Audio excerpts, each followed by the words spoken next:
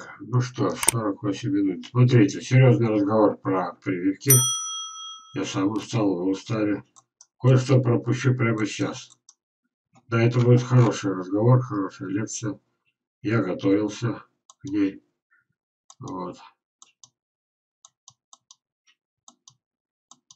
Вот они дебильные, вот они настоящие, вот они дебильные, вот настоящие. Сейчас просто прививки пропустил. А какие попроще темы? Вот смотрите. Это груша лютая, она у меня. Она меня накормила, и на ней сейчас висят грушки. Но грушки уже маленькие, и деревья на последнем издыхании. Как это получилось? Я неудачно посадил как? Холма нет. Ровное место, как стол. Почему нет холма? Потому что это бывший питомник. Слева там восток, там сходит солнце. Казалось бы, ничего страшного, пусть ходит. Главное запад. А запада у него тень. Другое дерево обогнало его, а этот э, абрикос и затенил. Что в таких случаях происходит? Дерево лет 12-15.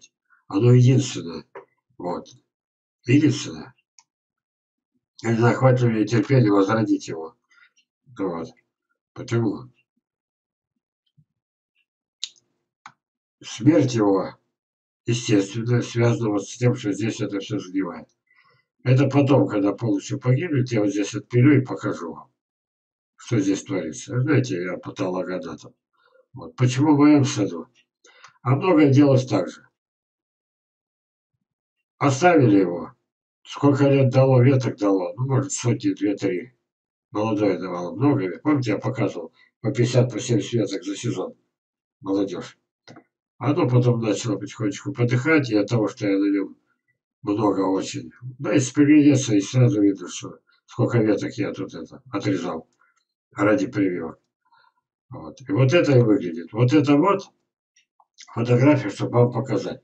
Это есть средний срок жизни груш, у которой повышенная тень, сырость, а где там сырость, знаете, вот здесь нет лишнего воздуха, здесь есть лишнего сквозняка и сухости нет. Посадка на ровное место привела к тому, что его жизнь сокращена в два раза.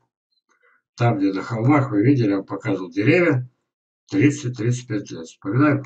Вспоминаем. Вот этот момент. Вот. Все, кто садит, думают, уже пробуют груши. Уже пробуют но несколько лет и конец. И всегда я сколько покажу, еще могу сотню показать. Здесь выше чисто все. А потом ниже, ниже, ниже, ниже, страшнее, страшнее, страшнее, страшнее. И вот это и есть самое слабое место. А еще почему? Потому что ее, эту грушу, ветки почти вертикальные, э, должны вот так расти и закрывать штамп от сырости, от воды, которая течет по штамбу. И, к сожалению, я лично сократил ему жизнь, потому что с этой людневой груши было, это, это, было снято, вырезано много веток, которые оголили то, чего любят делать специально, чашу, помните, вот, крона, чашеобразная, э, прореженная, разреженная вся эта дурь, не знаю вот этого. Я привел свой пример. Единственное, не хватает только, чтобы все-таки преодолеть свое это самое. На, на свое счастье мы заглянули сюда, Медведева или Исакова, увидели это самое, и мои слова переделали. А Железов учит нас, а сам загубил, а у него груша на 15 году сгнила. Ха-ха-ха. Вот. А для меня это учебный снимок. Вот, в моем саду одна такая, единственная. В свое время, лет 30 назад, было несколько таких. Я был дураком. Вот. А точнее, прилежным учеником. И тогда получается, что, простите мне, это единственное, зато это теперь учебный снимок, не выживает сыра.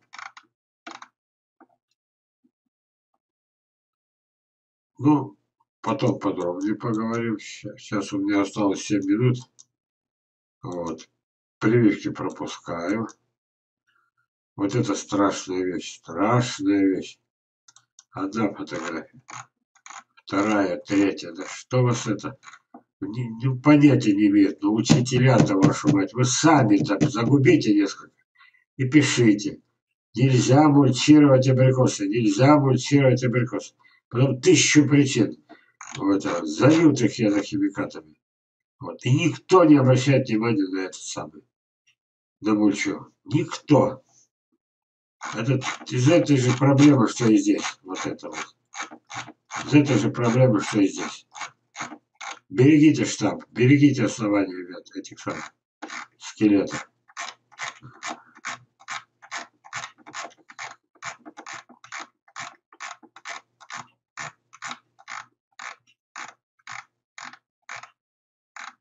Как же говорили. Вот. Я тут э, видел не так давно плакат, нет, не плакат, фотографию человека, который читал лекции. И у него над ним висела вот эта вот самая, э, ну, как бы сказать, как это называется, большой экран. А на экране вот это была фотография. Вот только не было вот этого креста. То есть пропаганда вот это вот, а значит, как так, та груша сгнила на ровном месте. А здесь еще быстрее сгнивает. А он в 21 веке, в 23 году умудряется читать лекции. А вот так вот крест сделай, и лекций нет, и гонораров нет. Нет? Если он напишет, что это. А на сцену, он мог бы хотя бы вот эту схему сделать, вот мою. Я же не этот, не изобретатель. Гаше рисовал нечто подобное. А это было примерно 120 лет назад. Вот. Ну, Гаше, кто не знает Гаше. У меня про него отдельный фильм есть, кстати. Только вряд ли из вас, может быть... А нет, у меня же особый же самый клуб. Здесь самый знающий и самый интересующийся. Поэтому несколько десятков человек из вас этот фильм смотрело про Гаше. Вот. И тогда получается следующее. Вот так посадили, и здесь груша проживет не больше трех-пяти лет. Никогда не догадается. Начинает чернеть листья. Никогда не догадается, почему. И в жизнь, прямо как будто слепли. Вот. Это. Вот, помогли мы ваши ляхи, помогли вам эти самые рекламы, этих же самые покраски штампа. Помогла? Летняя обрезка. Ну, все, наверное, заканчиваю разговор. А это, я уже напоследок осталось 6 минут. Я, Железов, гражданин России, утверждаю, наши, наши э, руководители страны, вот, или скрывают правду, ну тогда зачем надо, когда нация это сгнивает на корню? Или, или они настолько невежественны, что они даже не знают, что под этими трусиками мальчики остаются детьми в возрасте, если жизнь заставила это носить в раннем детстве, остаются, а потом идут вместо них плотные плавки, помните? Сон в плавках, сидение большую часть дня, когда яички зажаты. Все это приводит к тому, что как мужчина они не развиваются. Не развивается вот это, и не развивается э, то, что называется мужские гормоны. Вот. А это горе семьи, это измены, это слабые мужчины, не способные ни думать, ни на подвиги, ничего. Кто-то скажет, вот сколько подвигов. Вот миллионы убежали от подвигов. Знаете об этом? Это вот они. Искусственная брюшина вы видите. Вот, яички перегреты год за годом, день за днем. Вот. Западная Европа опередила. Пришли к власти геи. Вот. Люди совершенно другими, совершенно другими э, идеологией. Вот. А чтобы не чувствовать себя униженными в обычном нормальном обществе, Хотя, по-моему, их никто не трогает. Сиди и это, трахайся с кем хочешь. Вот. Другое дело, что они приходят к власти. Вот. Сейчас идет следующее. Сейчас идет следующее. Сейчас противостояние будет уже э, такое, что просто западная цивилизация погибнет. А наверное, и мы тоже под обломками. Вот я не шучу. Я обвиняю людей на уровне министров. Я обвиняю это, науку и высшее образование. Я обвиняю даже э, среднее образование и это и про, про, Министерство просвещения. Я обвиняю Академию наук. Вот. За то, что они не видят страшной опасности, которая нависла. Нам-то надо спасаться. Война-то у нас идет, а не во Франции, не в Англии. Вот. Нам спасаться надо. Они не знают, что у нас то же самое будет, что у них. И когда тоже мальчиков называть мальчиков не будут. И по делам, потому что они уже не мальчики. Вот. Совершено подлое предательство. Сейчас идет перестройка организма у миллионов мальчиков, подростков. Они безвольные, они тупые. Они на что не способны. Женщинам легче в этом плане, в моральном плане. Они остаются женщинами, потому что образ жизни у них не так поменялся, как у мужчин, вот, которых называют этот, э, планк, как его называют, этот самый, планктон. Вот. А, офисный планктон. Они-то еще, но у них будет страшная трагедия. У них не будет настоящих мужей, настоящих мужчин. Не будет ни радости секса, ни радости рождения детей. Детей с каждым годом будут все больнее, больнее, больнее, больнее. Рожденные от этих уже, от э, очень слабых. Что такое, что такое сотни тысяч сперматозоидов, когда самый из них сильный, самый этот, даст потомство. Почему их сотни тысяч? Почему? Почему не один, два, три? Уже можно соревноваться, кто первый. Сотни тысяч. Ради чего? Такое роскошество, такое богатство э, пропадает, как бы образно говоря. Чтобы один только дошел до этого. А когда они все еле дохлые? А как помогает рождать, чтобы эти самые э, дохленькие сперматозоиды все-таки зачатие было? И не думая, что будет. Какое потомство? И всю жизнь потом плакать над ним, над этим потомством. Ни на что не годным. А родить э, ребенка, это надо быть мужчиной, мужчиной. Пока не будут сняты вот эти, как здесь много бог. Еще несколько слов скажу, как хотите. Вот, можете больше не заходить сюда, на мой канал. Вот, но еще скажу. Когда-то э, было несколько страшных вещей совершено приучали к пиву молодое поколение. Сейчас я смотрю, девочки привыкшие, они алкоголики. Они без пива не могут. Девочки, которые выросли. Вот. И тоже рождают, кого попало. Вот. Про наркотики молчу. Никто с ними не борется. Это кормушки. Вот. Дальше начинается то самое. Пока рассказываю э, случаи, которые... Э, ой, таких случаев много. Ну, чтобы уже договорить. Итак, идет реклама перестроечных годов. Когда пиво, помните, кто за Клинским, как рекламировали памперсы, сказать? Это ну, для наглядной картинка, чтобы вы поняли, что я не болтун. Останавливается машина, легковушка. На заднем сиденье сидит малыш. Ну, такой же он, как на этой картинке. Вот. И улыбается. Из машины выскакивает отец, шофер, мужчина подбегает, заметьте, метров 10 отбежал, подбегает, вспоминайте, подбегает к высоковольтному столбу, и такая хорошая струя начинает мочиться. Вот. Ну, что не делаешь ради рекламы? Еще особенно, кто, кто, кто не мочится из нас. Мочился, в это время его бьет высоковольтная это, молния, от, от молния через струю, бьет его в то самое место, которое в паху, вот. Поняли, да? Причем натурально показали. Ну, вспоминайте. Я ничего не придумываю. Вот, вот сейчас Вот, сейчас же не найдешь эту рекламу.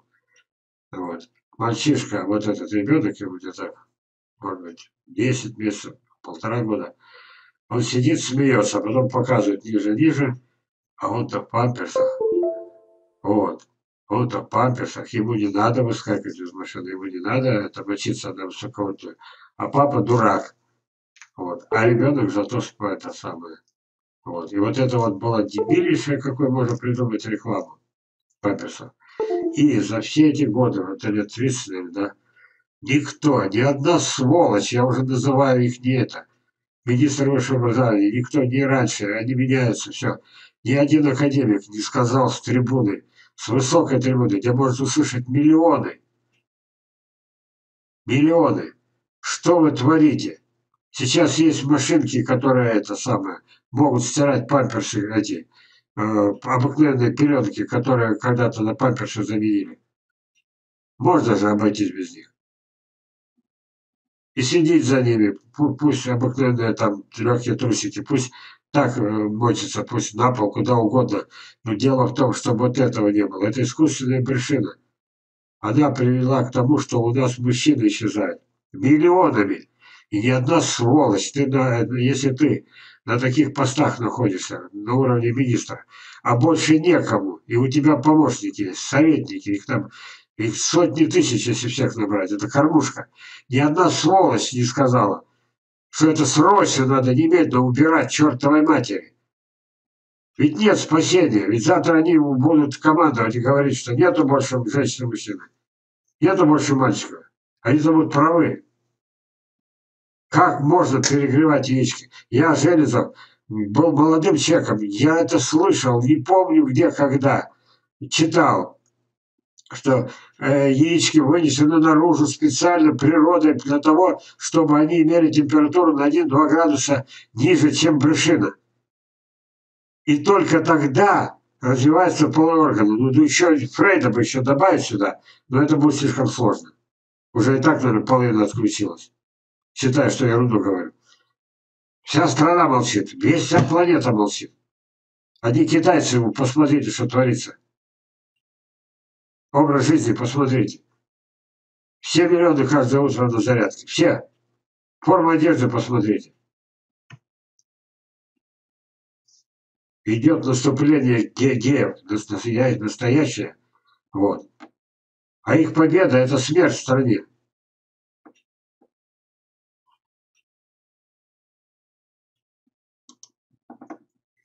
Так, так, так, так.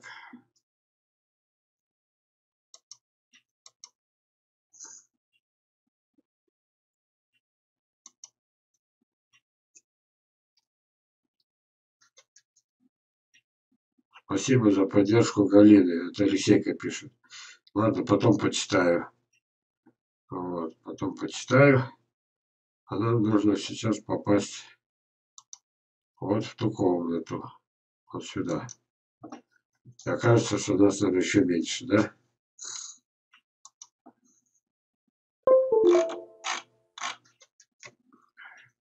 Спасибо за поддержку Галины. Это Алексейка пишет. Ладно, потом почитаю. Вот. Так, ну что, друзья, дайте пятиминутный перерыв устроим. Меня вот это особенно последнее. Сегодня решался вопрос, жить или не жить. Так, вот. Ничего, Харалолу напился, я должен был сказать вот это. Еще несколько таких тем, страшных тем. Помните, где патогенные зоны? Помните? Миллионы жертв, миллионы, и ни одна, опять ни одна это самая, собака, ни один этот. Нахрена вы называетесь академиками, а? Если вы самых простых вещей не знаете.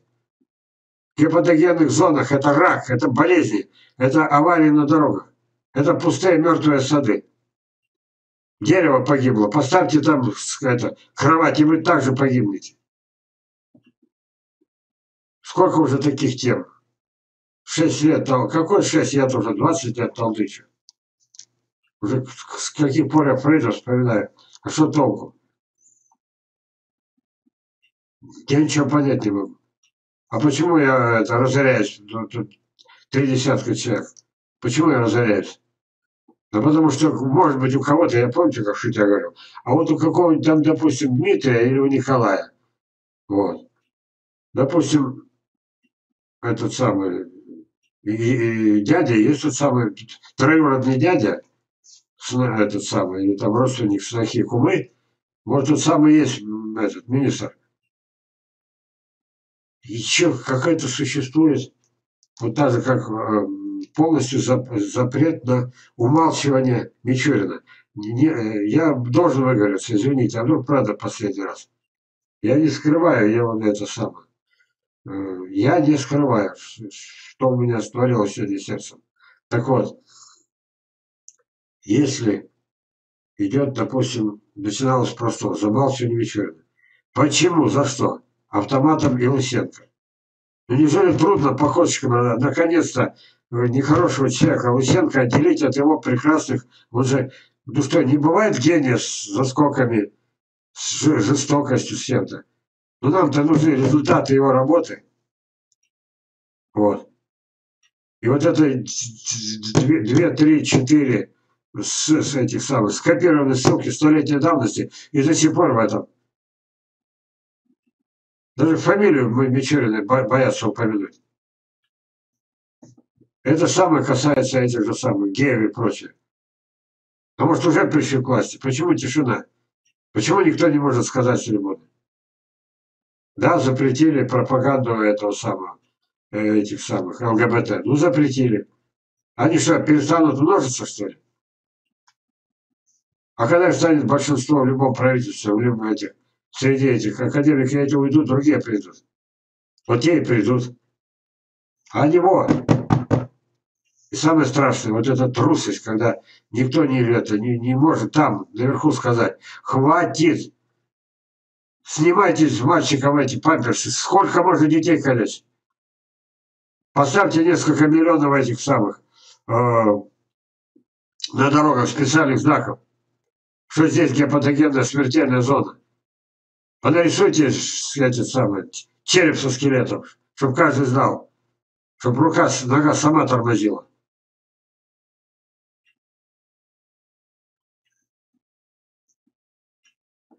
А я помню, ты начал как улыбаться будешь. Вот. Так, чтобы не распугать. Кончил опять. Помните, как это? Хороший человек, Железов, мы его изучаем. Но ругается. Пошел я на кухню. Пять минут.